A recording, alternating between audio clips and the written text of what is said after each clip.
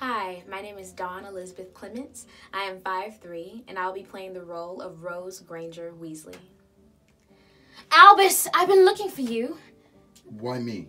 Uh, Albus, it's the start of the fourth year, and so the start of a new year for us. I want us to be friends again. We never were friends. That's harsh. You were my best friend when I was six. That was a long time ago. Have you heard the rumors? Big ministry raid a few days ago? Your dad apparently was incredibly brave. How do you always know about these things and I don't? Well, apparently he, the wizard that they raided, Theodore Nott, I think, had all sorts of artifacts that they broke all sorts of laws, including, and this has got them all gooey, an illegal time turner, and a quite a superior one at that.